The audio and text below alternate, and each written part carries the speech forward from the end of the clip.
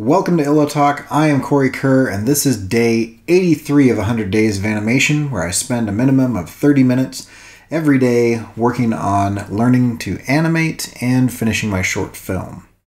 Um, you can check out the rest of this. There's like a whole playlist and whatnot. And tonight I want to talk about um, getting kind of a habitual rhythm. First, intro music.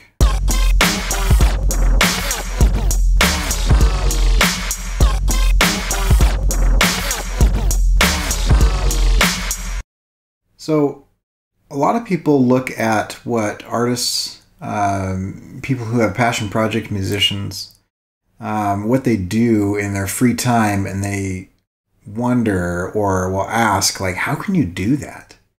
And it's gotten to the point now where I have to. Um, not because I'm being forced to or whatever, but because I start to get uh, a little anxious, a little itchy if I haven't worked on something in a while, if I haven't produced something, if I've gone a day or two without uh, moving a project forward. And I think that there's something called habitual rhythm. And, uh, and, and I'm kind of experiencing that right now because I went to Disneyland, LA for a week, hung out with some family, um, you know, brought my girls to uh, different things. Had had a fair, fairly interesting experience on a motorcycle over a couple days, and uh, and this week it's been a little bit difficult to get back into the swing of producing these videos. I've still been working on stuff, um, but I kind of got out of the habit of a of a daily video. I missed I missed a day, and I had to combine a day with another day. Um, but it, but it got me thinking about this habitual rhythm, and what I mean by habitual rhythm is um, there's a certain cadence, a certain rhythm, a certain um, flow to uh, the habits that we use to create what goes on in our life. Um, for example, when you are in the shower and you are washing yourself, and then you get out and you dry yourself, those are activities that you do so frequently and so um, habitually that you don't need to like think through each process. You don't need to say, I've washed my left armpit and now it's time to wash my right armpit. Now, what do I need to do next? Right? You have an order, especially the way that you dry yourself off. Like, and if you want to test this theory, here's a, here's a challenge for you. If you want to test this theory, um, dry yourself off in a different order. If you start with your shoulders or your hair or something, Start with your legs and watch what happens. You'll miss huge spots because you have trained yourself uh, through habit, through years of daily practice, um, to just automatically do these things, right?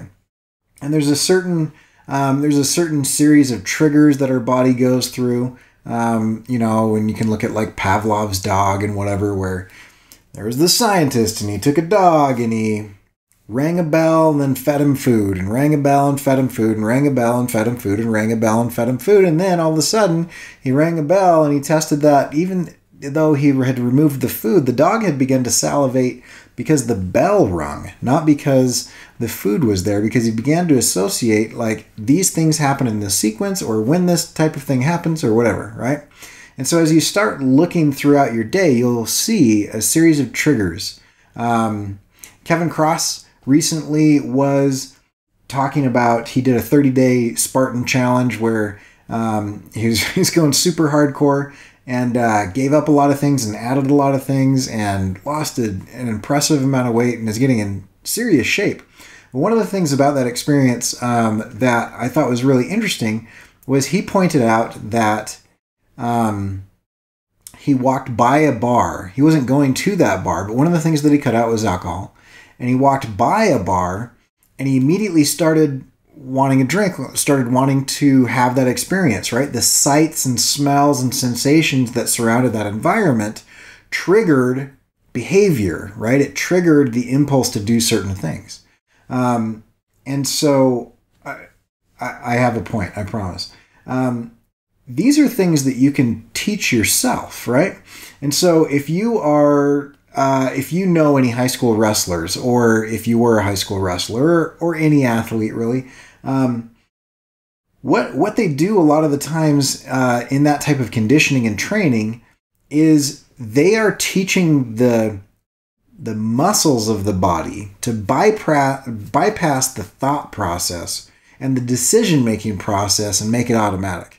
And so um, they train. You know, when when this happens, you do this. When this happens, you do this. When this happens, you do this. You do this so frequently um, that they can wrestle in lightning fast reaction times because they're not deciding they're not processing that information um, you know in the part of your brain that uses logic it's the the lizard part of your brain the lizard brain that is often called that's that's an automatic response it's a it's an instinctual thing and so um, you know wrestlers that train you know long and hard um, when they get into situations where they are wrestling um, it becomes somewhat though not completely an automatic and instinctual response and series of moves that have happened because they've gone through and they've rang that bell, right? And so you can do this with your life, right? I wasn't always someone who spent their evenings and weekends working on side projects. That wasn't I wasn't born doing that. I didn't do that as a kid.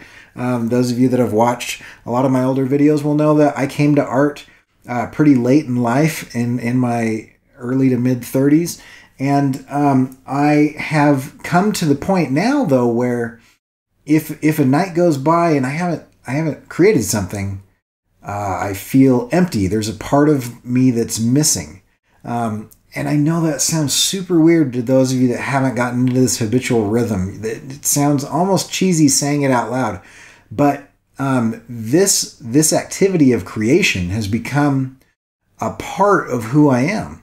Um, it's it's a part of the things that I need to do to be able to to do that. I remember one time um, I was on a trip with a, a, faculty trip with several of my colleagues, and there was some downtime, right? And we were uh, we were in Silicon Valley, and uh, one of the people that was hosting us has this amazing house that overlooks the valley. It's incredible, right?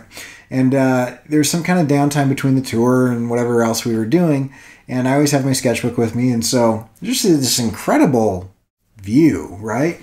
Um, and so I just got out and I just I just started drawing, um, and someone in the group who who teaches writing, he looked at me and he said, uh, "Man, I wish I had that." I said, "What do you mean?" He said, "Well, I wish I had that just drive to need to draw or write all the time. You know, I I you know, it's just impressive that some people have that and some people don't, you know. And uh, and I talked to him later and I said, you know, you mentioned to me that you mentioned to me that you wish you had, you know, kind of that drive. And I said, I don't. That didn't come naturally. Uh, that came because I have spent a considerable amount of time doing that. This is this is what my response is to sitting down and not doing anything for a little while is to is to start creating something. Um, but that's not that's not a natural personality trait that i have. That's not innate or inborn or uh, you know something that some people have or other people don't. Um, I, i've done that enough hours now to where i've trained myself to do that that's the bell that rings and uh, anyway i I thought that was interesting. And so, so this habitual rhythm, right? Um, you can train yourself to do stuff for good or bad, right? Um, I remember the first time I came into contact with this theory, this concept.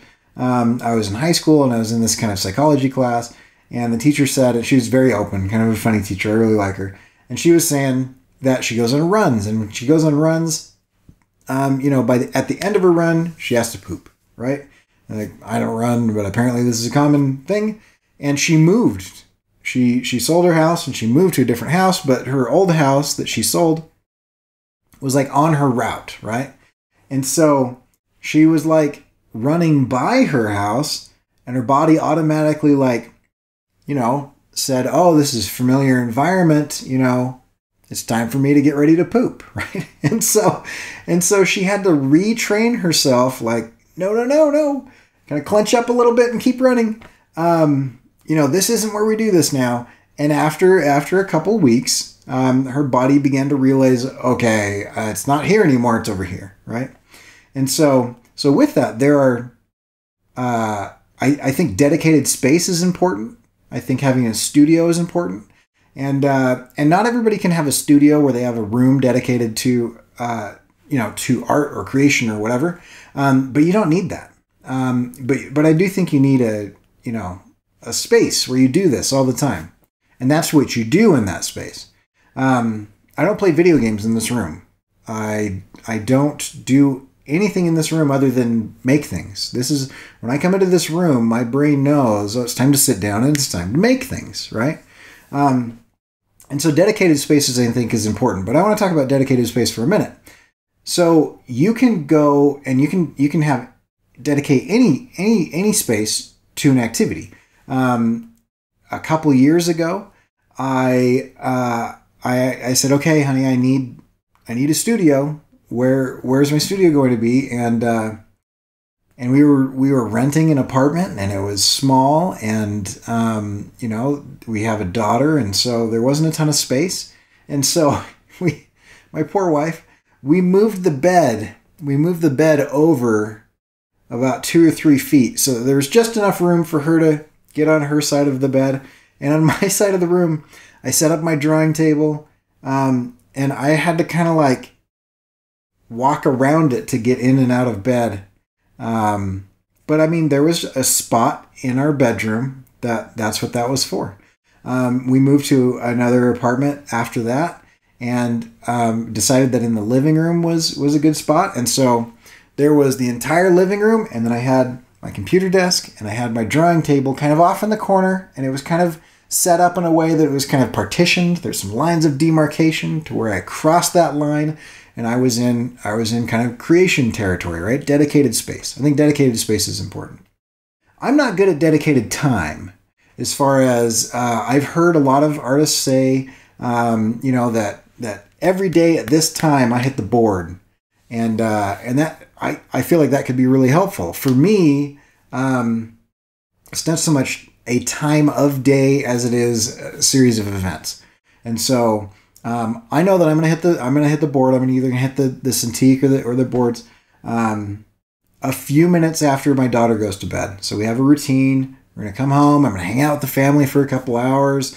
We're gonna eat dinner together. Um, you know, then we uh, and, and, then we say prayers, and I read her a story. Usually, it's Harry Potter for the last little while, and uh, you know, tuck her in, hang out with wife for a couple minutes, and then we go downstairs, and uh, it's it's it's creation time, right? And so, um, one of the things that has made that successful for me in my relationship um, with my wife is that I can do this while the TV is on. I can do this while I'm talking. I can do this while, um, you know, while listening to stories um, or whatever. And so um, we share that time in that space together um, while I'm doing this. So so I'm not secluding myself somewhere off. Um, and and I and I've built a series of practices. My wife is has joined me in building a series of practices that allows me to both spend time with my family and with my wife and allows me time to be able to do this, right? So anyway, it has become it's become habit. And uh and I really enjoyed my vacation. It was really fun, but at the same time there was no dedicated space in the hotel room. There was no um time that I had. I mean, we were going all day every day uh, to be able to do anything. And I loved it. I loved having that time with my family, but I also just missed that itch of of making something um, and creating something. So I, I did kind of steal away a couple minutes um, and try to sketch a little bit, and and uh, it was kind of forced. Um, but but I'm back. But now that I'm back, I've been doing the you know spending the evenings creating, drawing, mostly uh, doing illustrations and whatnot um, sometimes promoting my my website or store. Uh, I've spent a lot of time this week in the evenings getting a new store ready to go, um, where I'm selling T-shirts and stickers and hoodies and tank tops and art prints and things like that. Um, and and I'll announce that when it's ready. But it's it's much better than the last one that I had, uh, which which was okay, but it was I like these guys a lot better. Um, anyway, I'm just getting down to you know the last couple days where I've been getting back into the animatic and making things move again, and it, it just feels good to get back into that rhythm and get back into that groove. So, if you haven't done this yet, or if you uh, are one of those people that wants to or claims to want to, um, I wish I could get the, I wish I had the time. I wish I did this. I wish I, you know, I wish I had the drive that you did. Or, or one that drives a lot of people nuts is people that say, oh, I wish I was that motivated. Well, motivation follows work. Motivation does not precede work. Emotion precedes work occasionally, and an idea precedes work occasionally, but motivation never precedes work. Motivation is a result of work. Motivation comes because of this habitual rhythm. And so that motivation that is now driving me is a perpetuating thing, right? And it could go away.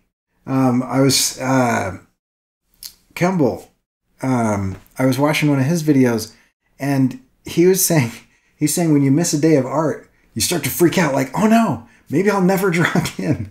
And that's totally a thing, right? Um, it, it's a real fear uh, that, that happens. And I think that's part of this motivation. But, but motivation follows, motivation follows work. And what I mean by that is people are not, people don't work hard because they're motivated. They're motivated because they work hard, right? I decide I'm going to do this thing. I do that thing, and it becomes part of who I am. It becomes a habitual rhythm that I have in my day and my week or whatever. I know that in this place and at this time and in this environment and this series of circumstances that this is what I'm doing. That is where the motivation comes, and the motivation drives you to that point. Um, so I guess my challenge is if you haven't already and you want to, don't wait for the motivation right? If you have a passion project that you want to start, if you have a side project that you want to do, if you want to, have, if you have a side hustle that you want to get get going, get involved in, you want to get involved in illustration, or you want to make a comic book, or you want to write a novel, or you want to do a short film, or um, you want to start writing short stories, or get into poetry, or um, you know any number of things. You want to start getting into sculpture, or paper mache, or learn the piano, or whatever. If you wait for the motivation, you will never act because the motivation will never get you there right? The motivation is a fleeting thing. But I'll tell you what you can do is start and start and do something every day. And every day you do a little bit.